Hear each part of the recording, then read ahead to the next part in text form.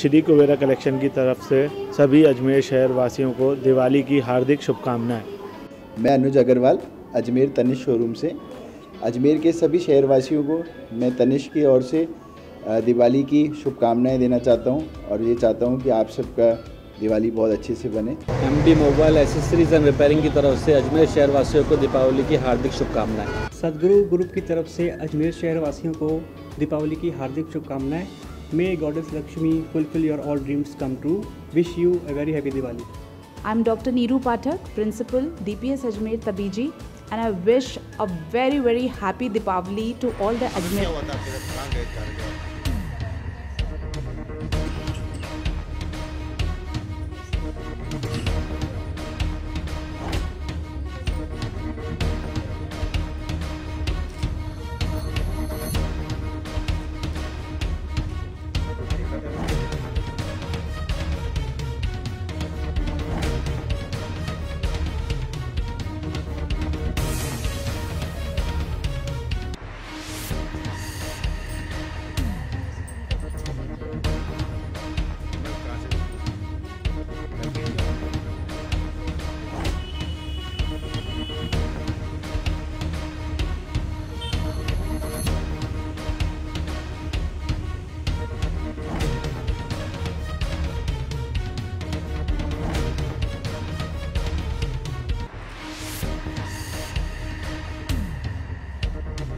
जॉन्सगंज की वारदात है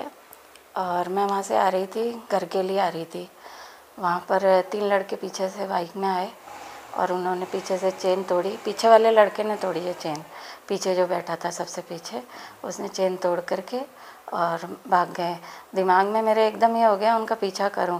नंबर मैं देख नहीं पाई इस घबराहट की वजह से वहाँ सब लोग जानते थे सब देख रहे थे मुझे लेकिन मैं कुछ बोलती बोला नहीं मैंने शोर मचाती तो शायद कोई वो लोग पकड़ में आ जाते आप कहाँ से आ रहे थे मैडम कार पे थे आप मैं स्कूटी पर थी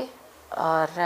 ये अपने मार्केट से आ रही थी मैं किस जगह हुई थी घटना ये ये जोन्सगंज फुलिया के ऊपर गड्डी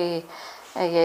गड्डी वाले बालाजी हैं वो भी गाड़ी पे थे वो भी कितने जने थे तीन जने थे कितने तोले की चैन थी डेढ़ तोले के आसपास थी रिपोर्ट कराई आपने रिपोर्ट करा दी कौन सा थाने में रामगंज थाने में कोई फुटेज वगैरह आया नहीं लगभग कितनी कीमत की चेन थी डेढ़ तो लगी आप लगा लीजिए आज की क्या कीमत है हाँ, हाँ मतलब साठ हज़ार के लगन सर मेरा नाम सुजाता विष्णवी अशोक विहार गली नंबर आठ में कल शाम को करीब चार साढ़े चार बजे की घटना एक महिला सुजाता विष्णुई जो रहने वाले अपने अशोक विहार की है मार्केट से अशोक विहार अपने घर की तरफ आ रही थी स्कूटी पे पीछे से तीन लड़के बाइक सवार आए और उनकी चैन तोड़ के चले गए इस संबंध में उस महिला ने रिपोर्ट दी जिस पर मुकदमा दर्ज कर लिया गया और अज्ञात जो बदमाशान हैं उनकी तलाश की जा रही है की घटना है ये जोशगंज बालाजी मंदिर के पास की घटना है